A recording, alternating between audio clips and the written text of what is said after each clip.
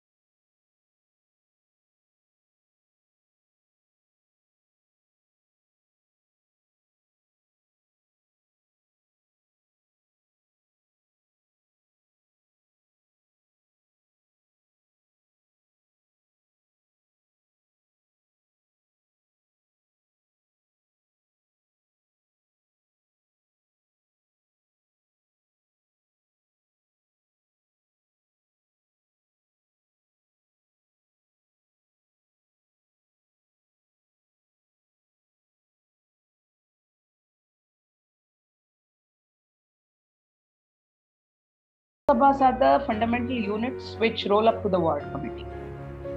So, a given ward can be divided, say, up uh, to 10 to 12 areas, and each area demographically can have about 1,500 to 2,000 household units.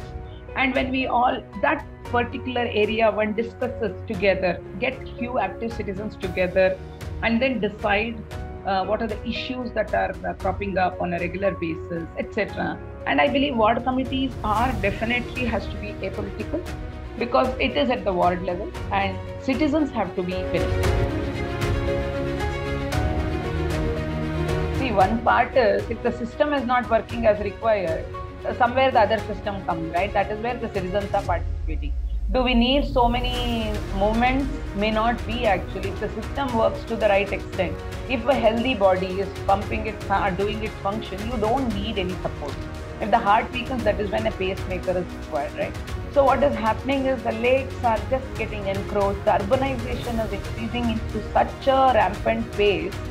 I think somewhere the citizens also feel, let's say, after being an IT city, after seeing so much of tax, etc., they still find that there's so much of corruption, there is so much system apathy, etc. I think then, and there is also a sense of pride, right? When you do for the service as a, to the society, there is a sense of happiness. That is something intangible. Every common man wants the basic facilities around to be resolved and better, and they also join hands if required. So come join us. We'll all unite as citizens and work towards resolving civic issues. Let's get some transparency in the system, good governance in the system. Who doesn't want it?